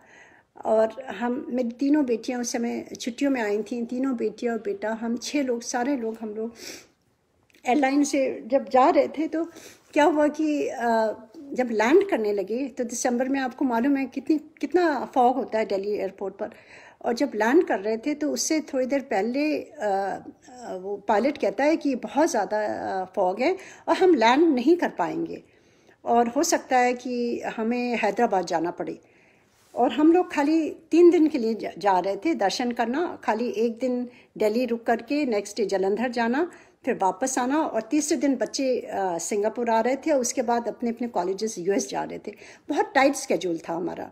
तो अगर हम हैदराबाद जाते तो हम वहाँ नहीं पहुँच पाते जलंधर। तो हम सारे एक दूसरे को देखने लगे और प्रे करने लगे गुरु को। पायलट ने दो अटैम्प्ट किया और नहीं हो पा रहा था। हम सारे बहुत मन से प्रे करने लगे गुरु जी को। गुरु जी आपके दर्शन को ही हमारे थे। अब आपने कहा भी था, अब हम वापस चले जाएँगे, बिगड़ देखे आपको गुरु जी और उसी समय थर्ड अटेम्प्ट में पायलट ने कहा कि फॉग लिफ्ट हो गया है और we are going to land and हम लोग इतना खुश हुए, हमारी फ़्लाइट लैंड करी। That was the last flight और पायलट ने कहा this is the last flight that has been allowed to land and the fog has come back again तो जल्दी से हम लोग उतरे और जब uh, वहाँ से नोएडा जा रहे थे बिल्कुल भी दिख नहीं रहा था। इतना फॉग था कि आप बिलीव नहीं करोगे। एनी anyway, हम घर पहुँचे। नेक्स्ट डे सुबह सुबह हमें जाना था जलंधर। तो हम सुबह सुबह हम सारे जलंधर पहुँचे। काफ़ी लंबा सफ़र था। मैं फ़र्स्ट टाइम जलंधर जा रही थी। मैं कभी नहीं गई हूँ। और वहाँ पर गुरु जी जलंधर मंदिर में थे। और वहाँ पर गए गुरु जी इतना खुश हुए, इतना खुश हुए, इतना खुश हुए देख करके और इतना उन्होंने वेलकम किया, इतना प्यार दिया, इतना ज़्यादा कि मैं आपको बता नहीं सकती हूँ। और जैसे मेरे हस्बैंड ने पैर छुआ गुरु जी का, मेरे हस्बैंड को गुरु जी कहते हैं कि चल अपना सत्संग सुना, कैसे फॉग लिफ्ट कर दिया था? तो देखिए गुरु जी की अपरम्पार महिमा है। कि किस तरह से अपने भक्तों का, हर भक्तों का, हर भक्त का ख्याल रखते हैं गुरु जी जो भी उनसे दिल से जुड़ता है, निष्काम भावना से जुड़ता है, खाली प्यार से जुड़ता है गुरु जी उसका हमेशा ध्यान देते हैं और हम सब संगत का ध्यान देते हैं। तो इतनी खुशी हुई गुरु जी ने दिखा दिया कि वो किस तरह से सबको प्यार करते हैं, सबकी हेल्प करते हैं। और हम वहाँ पर रहे गुरु जी ने कहा कि आज रात में इतने ही रहे। एक रात हम वहीं रुके और नेक्स्ट डे गुरुजी ने कहा था, सुबह ब्रेकफास्ट आना। तो गुरुजी ने पराठे वगैरह मनवाए थे, वो सब वहाँ खा के फिर हम लोग वापस दिल्ली आए और उसी दिन रात में ही फ़्लाइट लेकर के वापस सिंगापुर आ गए। तो देखिए गुरुजी का प्यार कितना है कितना है मतलब किस तरह से गुरुजी करते थे। और एक बार सुनामी आई हुई थी, उसका सत्संग मैं ज़रूर शेयर करूँगी कि गुरुजी हैं कौन? ये सारे जो सत्संग में शेयर कर रही हूँ, ये प्रूफ करता है कि आपके दिमाग में जो चलता है गुरु जी सब कुछ जानते हैं। और वो उस समय नहीं, अभी भी मेरे पास इतने सत्संग हैं जो गुरु जी बॉडी फॉर्म में चले गए जो जो अब हो रहे हैं। एवरी डे कोई डिफरेंस नहीं है। सब कुछ वैसे ही हो रहा है। ओनली थिंग है, हम अपनी आँखों से उनके दर्शन लाइव नहीं कर सकते हैं। उनको दिल में महसूस करते हैं, उनके आसपास एनर्जी में महसूस कर सकते हैं, अपने अंदर की खुशी में महसूस करते हैं। सारी संगत को मिल के जो प्यार होता है, उसमें महसूस कर सकते हैं। गुरु जी को अब खाली महसूस करना है अपने से। गुरु जी बॉडी फॉर्म में नहीं, पर इट डजेंट मैटर तो एक बार सिंगा, सिंगापुर में हम लोग थे और जब सुनामी आया था तो उसी समय दिसंबर में मेरी बेटियाँ आई थी मेरे हस्बैंड ने कहा था कि श्रीलंका हम लोग चलेंगे पहले वहाँ पर वेकेशन करके चार पाँच दिन फिर गुरुजी के दरबार में जाएँगे। तो हम सब मेरी बेटियाँ बहुत एक्साइटेड थी कभी हम लोग गए नहीं थे श्रीलंका। तो एनीवे anyway, सारा रिजर्वेशन हो गया था सब कुछ इवेंट के हम चार पाँच दिन श्रीलंका में फिर गुरुजी के साथ न्यू ईयर्स मना के ईद और फिर उसके बाद फिर हम वापस आएँगे एक दो दिन के बाद और, और बच्चे वहीं से फिर अपने अपने कॉलेज यूएस चले जाएँगे। सारा इतना टाइट रिजर्वेशन था सब कुछ। और जैसे जैसे जैसे टाइम पास आता गया गुरु जी मैसेजेस भेजने लगे मेरे चाचा के थ्रू और संग, प्रेम सिंह अंकल के थ्रू बहुत संगत के थ्रू मैसेजेस आने लगे कि गुरु जी कह रहे हैं कि क्लेयर फार्म में गुरु जी इस तारीख को I think it was December twenty eight उसी के आसपास कहते हैं कि क्लियर फार्म में बहुत बड़ी ब्लेसिंग गुरुजी दे रहे हैं। उस दिन संडे है और दोपहर के टाइम तो गुरुजी कह रहे हैं कि हम लोगों के लिए कहा कि उन्होंने बोल, हमें भी आना है वहाँ पर ब्लेसिंग के लिए। तो जब चार मैसेजेस आए, हम लोग सोचते रहे। फिर मेरे हस्बैंड ने कहा कि ऐसा है, गुरुजी के मैसेजेस आए तो हमें अपना प्रोग्राम चेंज करना होगा। ये गुरुजी की बहुत बड़ी ब्लेसिंग है, जो मैं गुरुजी को शुक्राना, अनंतम शुक्राना कर रही हूँ, जो मेरी पूरी फैमिली, मेरे हस्बैंड, मेरे बच्चे, हम हम सारे गुरु जी से ऐसे जुड़े हैं और जुड़ नहीं सकते। गुरु जी ही ब्लेस करते हैं, तभी हमें, हम उनसे जुड़ सकते हैं। तभी हमें अपने अंदर गुरु जी के लिए भक्ति आती है। हम किसी लायक नहीं है, हम बिल्कुल नहीं भक्ति कर सकते, हम कुछ नहीं कर सकते हैं, दिमागी नहीं है हम लोगों का। वो गुरु जी की जब ब्लेसिंग होती है, वो एक है ना, जो सो सिमरे जिन्हें आप सिमराए। हम कुछ नहीं कर सकते। गुरु जी जो चाहते हैं वैसे ही होता है। तो गुरु जी ने ब्लेस करना था, सारा परिवार गुरु जी से जुड़ता और सबको उतनी उतनी ही गुरु जी से है जितना हम सारे एक बराबर हैं। तो मेरे हस्बैंड ने कहा कि हम ऐसा चेंज कर देते हैं। फ़्लाइट चेंज करके हम लोग फिर श्रीलंका नहीं गए। हम सीधे फिर, जैसा गुरुजी ने कहा था तो दो दिन पहले वहाँ पहुँचे। गुरुजी के दरबार में और सीधे हमारी फ़्लाइट पहुँचती थी ग्यारह बजे साढ़े ग्यारह बजे सिंगापुर एयरलाइंस रात में पहुँचती थी दिल्ली और हम सीधे गुरु जी के दरबार में एम्पायर स्टेट पहुँच जाते थे। तो वहाँ से सीधे हम पहुँचे तो गुरुजी बड़े खुश हुए, इतने खुश हुए गुरु जी। मतलब एक गुरु भी, मैंने कितनी बार देखा है कि आप जब गुरु जी का मान रखते हो, गुरु जी की बात रखते हो, गुरु जी इतना खुश होते थे, इतना खुश होते थे, मैं बता नहीं सकती हूँ। मतलब इतना खुश, इतना वेलकम किया गुरु जी ने और इतने प्यार से सबको वो किया और कहा कि इतना खुश हुए, कहते आ गई? अच्छा हुआ अच्छा कितना आ गई? उनका जी गुरु जी आपका आदेश था। एनी वे गुरु जी ने लंगर कराया और उसके बाद लंगर करके गुरु जी ने जब जाने लगे तो गुरु जी ने मेरी तरफ़ देख के कहा, अचानक ही कि तेरा भरा कितने, मेरा भाई, बड़ा भाई तो मुझे मालूम था वो इलाहाबाद से आए हुए थे और वो दिल्ली में ही नोएडा में ही थे और आ, उन उनकी फ़्लाइट थी नेक्स्ट डे। वो जा रहे थे एंडमन आइलैंड वहाँ पर वेकेशन के लिए अपने फ्रेंड्स के साथ। तो गुरुजी ने कहा कि आ, तो मैंने उनको बताया गुरुजी को कि गुरु गुरुजी वो कल जा रहे हैं उनकी फ़्लाइट है कल सुबह सुबह वो एंडमन आइलैंड जा रहे हैं। तो गुरुजी ने एक तरफ़ एक सेकंड उनकी तरफ़ देखा और कहते हैं कहाँ कितने उनका गुरु जी एंडमन आइलैंड तो गुरु जी ने कहा, नहीं उन्होंने बोल इतने आना है। देख, तू भी आई है ना? ब्लेसिंग के लिए बहुत ब्लेसिंग है क्लियर फॉर्म में। और मैं ब्लेसिंग दे रहा हूँ सबको। उन्होंने बोल कि सुबह ज़रूर आना है ब्लेसिंग लेने। और अगर जाना है तो रात में शाम को चला जाए या नेक्स्ट डे चला जाए? मैंने कहा, जी, गुरुजी, मुझे मालूम था, गुरुजी का ब्रह्म वाक्य होता है। जब भी कुछ गुरुजी कहते थे, उसके पीछे ब्लेसिंग ही ब्लेसिंग होती थी। और वो हमारे ऊपर है।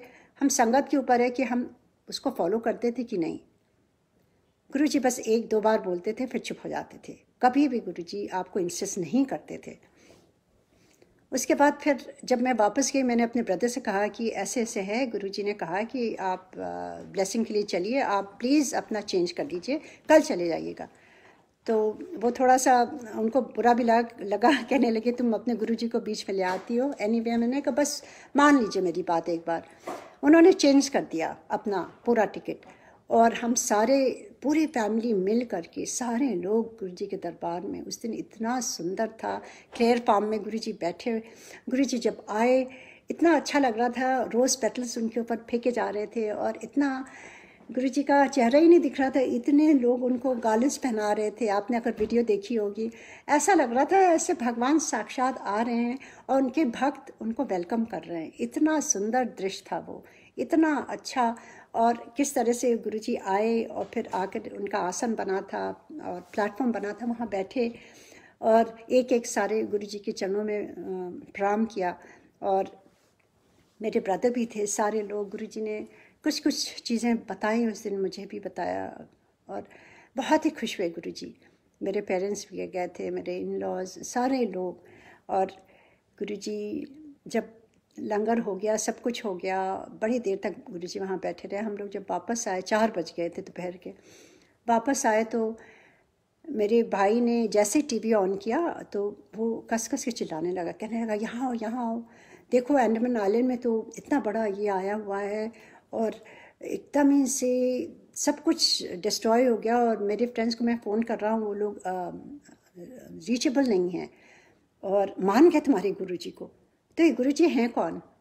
देखिए गुरु जी ने मेरे भाई को बचाया और गुरु जी ने हम लोगों को बचाया। हम कहाँ श्रीलंका जा रहे थे? वहाँ पर श्रीलंका में कितने हमारे फ्रेंड्स के लोग जो बीच पर थे, एकदम दे व स्वेप्ट मतलब आँखों देखा, ऐसा लग रहा था कि किस तरह से सब कुछ ख़त्म हो रहा था वहाँ पर। और गुरु जी की इतना शुक्राना, किस तरह से जो हमको वहाँ से बचा करके गुरु जी ने क्लियर पाम में बुलाया और ब्लेस किया। मेरे भाई को जो एंडमन आइलैंड जो एपी सेंटर था, जहाँ पर आया था, वहाँ पर जाने से रोका उनको और ब्लेस किया। और मतलब मैं नहीं आती तो उनको भी नहीं पता रहता तो गुरुजी ने किस तरह से मतलब सबको ब्लेस किया है। और खाली हमें नहीं, जितनी संगत वहाँ पे आई थी, सब लोग कहीं ना कहीं उसी डेस्टिनेशन में जा रहे थे और गुरुजी ने उन्हीं लोगों को बुलाया हुआ था। तो गुरुजी ने चूज़ करके उस संगत को, सबको ऐसे ऐसे चूज़ करके इन सबको वहाँ इकट्ठा किया था जो इस जगह पर जा रहे थे। तो गुरु जी का अनंतम शुक्राना अनंतम शुक्राना। मेरे पास इतने सत्संग हैं और मैं तो नॉन स्टॉप शेयर कर सकती हूँ पर आई डोंट नो टाइम की लिमिट है। आ, एक घंटे हो गए अंकल आप लोग प्लीज़ मुझे बता दीजिए। तो आ, या तो मैं बस एक आखिरी सत्संग शेयर करके मैं फिर ख़त्म कर देती हूँ। तो ये सत्संग मैं आपको अपनी बेटी का बताती हूँ जो मिडिल वाली डॉटर है जिसको गुरुजी ने ब्लेस किया था आसमा से। मैं तो उसके पैर छूती हूँ और कहती हूँ कि तुम्हारी वजह से मुझे गुरु जी के दर्शन में, भगवान के दर्शन में, और उसकी प्रॉब्लम्स को सर आँखों पर, जो प्रॉब्लम से हम गुरु जी से जुड़े हैं। जो भी प्रॉब्लम्स होती हैं, हमें अगर वो गुरु जी के द्वार तक लाती हैं, वो भगवान शिव के दर्शन कराती हैं, उनको सर आँखों पर। और तो उसी डॉटर का है, उसका बचपन से वो बहुत ही बीमार रहती थी तो उसको और भी बहुत प्रॉब्लम थी। तो गुरु जी ने सब कुछ ठीक किया, और हमेशा से उसके मन में जब वो बड़ी हुई जब उसका एस्मा ठीक हुआ तो उसके मन में रहता था मुझे डॉक्टर्स ने इतना इतना हेल्प किया है। मेरे मन में इतना रिस्पेक्ट है डॉक्टर्स का कि मैं भी डॉक्टर बनना चाहती हूँ बड़ी होकर के और मैं भी बच्चों की हेल्प करना चाहती हूँ। इसके मन में बहुत ज़्यादा था ये।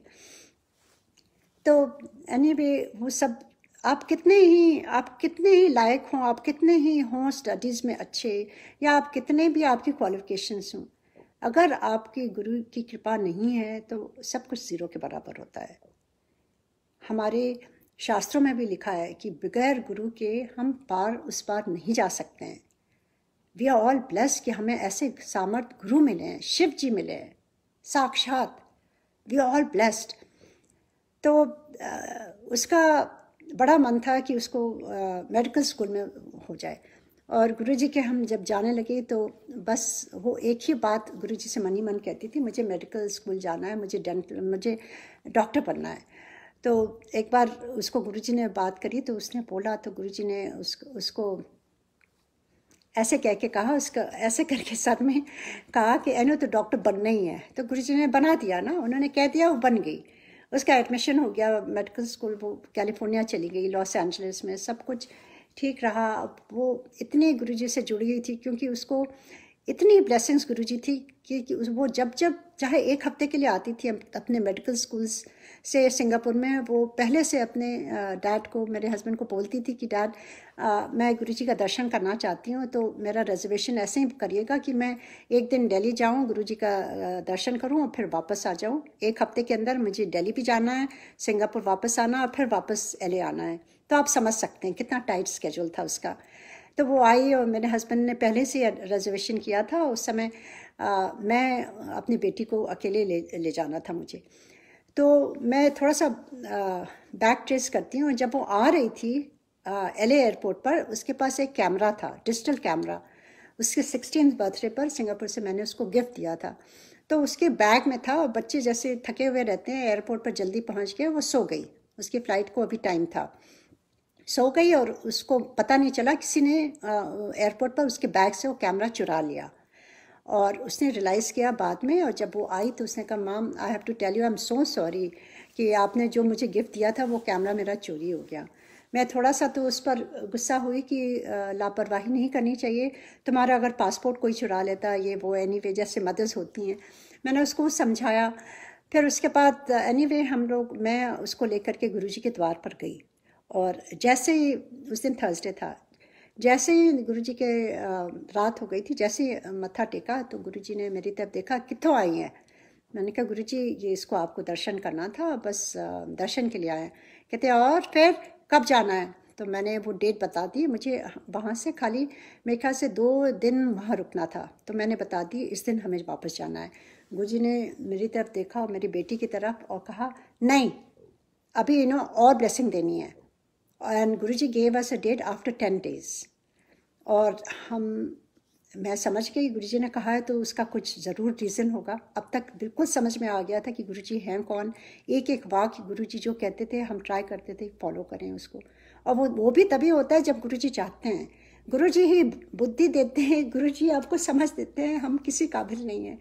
तो गुरु जी ने ही कुछ किया होगा जो हम समझ गए कि हमें नहीं जाना है। उसके बाद मैं जाके बैठ गई, हम लोग लंगर करने लगे और वो बार बार मुझे ऐसे ऐसे एल्बो करने लगी mom this is not great school ऐसे नहीं हो सकता है। मैं अपना मेडिकल स्कूल में इतना नहीं मिस कर सकती हूँ। मेरा इतना लैब वर्क होता है, मैं बहुत पीछे हो जाऊँगी। ये, वो जो रेगुलर बच्चे कंप्लेन करते हैं कहने लगी।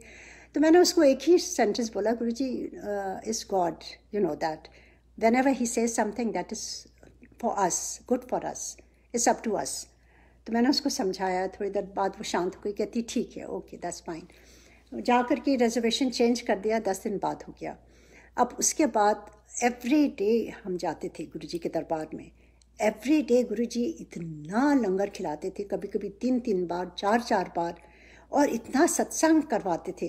और एक बार हम कार से नोएडा से एम्पायर स्टेट आने में दो ढाई घंटे तो लग जाते हैं। तो हम कार में थे और मैं मेरी बेटी और हम लोग बातें कर रहे थे और मैं उसको बार बार बोल रही थी, आज देखना गुरु जी तुमको बोलेंगे सत्संग सुनाने के लिए। कहती mom please don't talk like that everybody speaks in Hindi there और मेरी हिंदी तो बड़ी ख़राब है। Everybody will laugh at me और हमने कहा, कोई बात नहीं गुरु जी तुमको इंग्लिश में बोलेंगे। कहते हैं no mom nobody speaks in English there it doesn't look nice मैंने एनी वे हँसी की बात थी वापस। हम वापस पहुँच गए गुरु जी के दरबार में। उस दिन काफ़ी लोग वहाँ थे, उस दिन ट्रैफ़िक में हमें लेट हो गया था। तो लेट थोड़ा पहुँचे, गुरु जी आसन में बैठे हुए थे। और जैसे ही मेरी बेटी ने मत्था टेका, गुरु जी मेरे से कहते हैं, तू इतने बैठ जा। और मेरी बेटी से कहते हैं चल, तू आज अपना सत्संग सुना।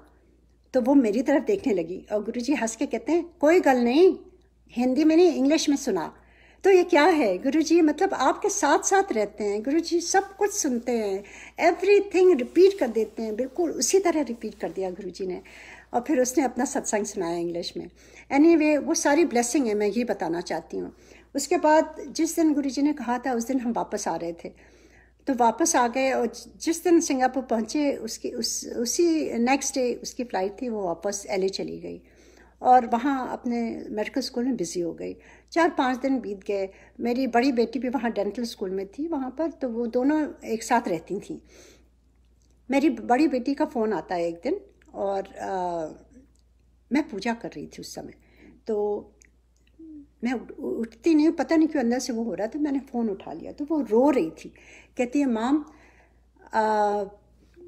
L A P D Los Angeles police department का फ़ोन आया है और they are asking about Neetu that's a name way she तो मैंने कहा, वो तो मेडिकल स्कूल में कहती है कहती है वो कहते हैं कि are you the person are you did you go to did your sister go to India did she travel and did she lose her camera तो वो कहती है हाँ she lost her camera at the airport somebody stole it तो LAPD ने उसको बताया कि एक ब्लैक गाय था जिसने वो कैमरा चुराया हुआ था and he was a serial rapist and killer उसने करीब पता नहीं कितनी औरतों को मारा था। तो उस समय उसने जो कैमरा चुरा लिया था, हो सकता है उसका टिकट भी देख लिया होगा, जो भी बात रही होगी। And maybe he was waiting at the airport at that time because उसको जब आना था within within two three days when she was getting back to L A तो उसने शायद देख लिया होगा और उसने जो कैमरा की जो पेन ड्राइव होती है, उसने अपने पॉकेट में रखा था। एंड पुलिस डिपार्टमेंट उसको बहुत महीनों से ढूंढ रही थी। और उसका ये ऑपरेशनल का मोड होता था कि जो भी उसका नेक्स्ट विक्टिम होता था, उसकी पिक्चर वो अपने पॉकेट में रखता था। तो जब पकड़ा गया तो वो जो पिक्चर थी, जो निकाली, जो उन्होंने देखी तो उसमें मेरी बेटी की पिक्चर देखी उन्होंने। और कैन यू बिलीव किस तरह से गुरुजी ने सब इजीली कराया क्योंकि मेरी बड़ी बेटी मैराथन रनर थी, सियाटल में रन करती थी तो वो, उसने वो उस पिक्चर में उसकी वो शर्ट पहनी हुई थी। तो उन लोगों ने, एलएपीटी ने सियाटल के पुलिस डिपार्टमेंट को फ़ोन किया और पता करा, इस लड़की के बारे में बताओ। तो वो मेरी बेटी का नंबर उनको मिला। तो मेरी बड़ी बेटी नेहा, उसको उन्होंने फ़ोन किया। और उन्होंने सोचा, यही लड़की है। तो उसने बताया, नहीं, मैं नहीं गई थी, मेरी सिस्टर गई थी। तो वो लोग और परेशान हो गए कि वो कहाँ हैं? Is she safe way she तो वो कहती है कि वो तो मेडिकल स्कूल में है तो कहती है ट्राई टू कॉल है वो कॉल करें, वो उठाए ना। तो वो परेशान हो रहे थे। तो एनी वे थोड़ी देर बाद उससे बात हो गई and she was in the lab she was safe and that's one my daughter had call me and told me everything and मैं गुरु जी के स्वरूप के सामने उस समय क्या कर सकते हो आप? मैं सिंगापुर में, बेटियाँ मेरी एल ए में और गुरु जी इंडिया में। तो चुपचाप स्वरूप के सामने मैं जैसे कह रही हूँ गुरु ने कहा था, मेरी स्वरूप मेरा मेरी फ़ोटो फ़ोटो नहीं है। जिथे मेरी फ़ोटो होती है, उत्थे मैं रहता हूँ। तो स्वरूप के सामने भी जो आप प्रे करो कि गुरु जी सब कुछ सुन रहे हैं। मैंने दिल से प्रे करा गुरु जी आप ही संभालो बच्चों को। आप ही के बच्चे हैं, अब आप ही देखो उनको। मेरा और कोई नहीं है। और किस तरह से, अब गुरु जी को आप भगवान नहीं मानेंगे तो क्या मानेंगे? एज ए मदर मेरे एक एक पोर से भी मैं शुक्राना करूँ एक एक सेल से भी शुक्राना करूँ, वो भी कम है गुरु जी को। शुक्राना इज़ वेरी स्मॉल वर्ड किस तरह से जो गुरु जी ने मेरी बेटी को बचाया इतनी बड़ी उससे? अगर उस दिन हमने गुरु जी की बात नहीं मानी होती और वापस आ गए होते, हमें नहीं मालूम क्या होना था। गुरु जी आपको चॉइस देते हैं। वहाँ पे जैसे ही हम लोग पहुँचे गुरु जी के एम्पायर स्टेट में गुरु जी ने मेरी बेटी को देख के सब कुछ देख लिया था, क्या होने वाला है। और उन्होंने चॉइस दी थी, उन्होंने कहा था, इस तारीख को जाना। अगर हम नहीं जाते, हमें नहीं मालूम क्या होता। तो ये बहुत बड़ी कृपा है गुरु जी की, कि उन्होंने बुद्धि भी दी उस समय चेंज करने के लिए, और किस तरह से हम वहाँ रुक गए। और किस तरह से गुरु जी ने इतने दिन रोके रखा, उसी दौरान पुलिस डिपार्टमेंट से उसको पकड़वाया और उसको सेफली जेल में किया। और फिर उसके बाद फिर उसको वापस यहाँ सेफली लाए। और मतलब इतनी इतनी कृपा गुरु जी की, इतनी इतनी ब्लेसिंग और अभी भी हो रही है और सब पर हो रही है गुरु जी की कृपा। तो मैं बस आज इतना ही कह करके ख़त्म करना चाहती हूँ। एक घंटे से ऊपर हो गया थोड़ा सा। और फिर गुरु जी ने चाहा, अगर गुरु जी की मर्ज़ी होगी तो मैं दोबारा आपसे शेयर करूँगी।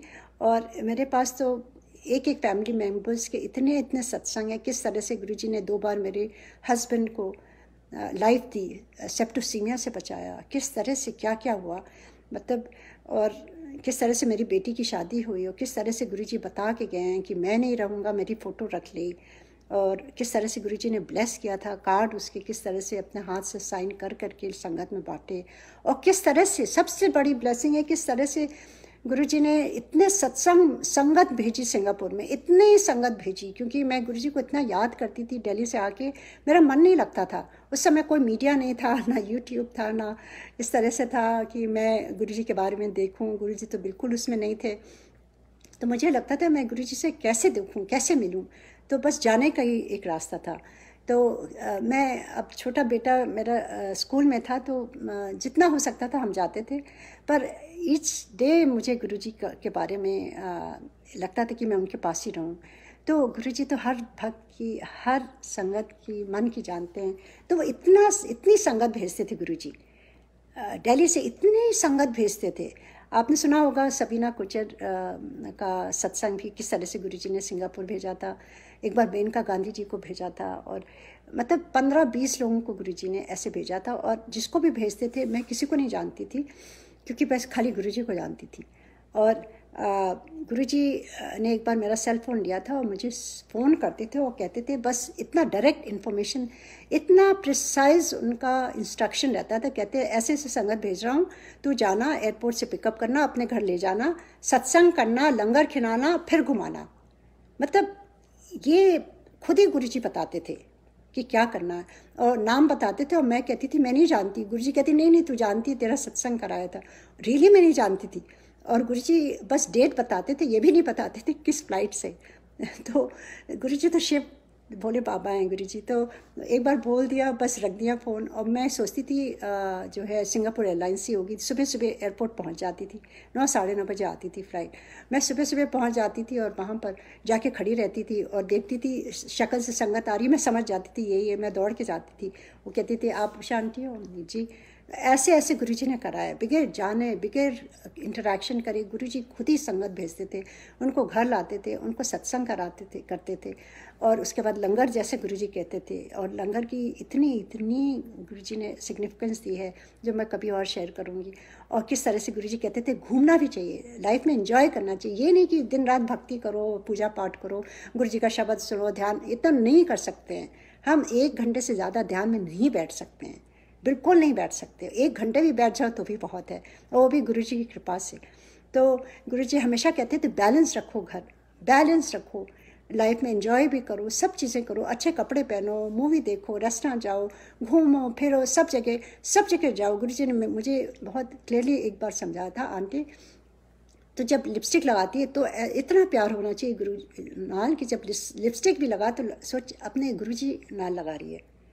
उनके लिए लगा रही है इतना प्यार होना चाहिए। और इतनी बड़ी बात गुरु जी ने कही है कि अब लगता है कि सब कुछ गुरु जी को ही अर्पण है, सब कुछ गुरु जी के लिए है। और ये लाइफ भी गुरु जी की है। जब तक गुरु जी कहते हैं, बोलते रहेंगे, सत्संग करते रहेंगे, जिस दिन चाहेंगे वो अपने चरणों में ले लेंगे। जय गुरु जी और thank you so much all of you संगत। जो जो सुन रही हैं, जो जो पढ़ रही हैं, उनको बहुत बहुत ब्लेसिंग्स गुरु जी की। गुरुजी, देखिए, साक्षात विराजमान है और गुरुजी हंस रहे हैं और वहीं से आप सबको ऐसे ब्लेस कर रहे हैं। गुरुजी अपनी नज़रों से, अपनी दृष्टि से ब्लेस करते थे। संगत को एक नज़र डालते थे, सब ब्लेस हो जाते थे।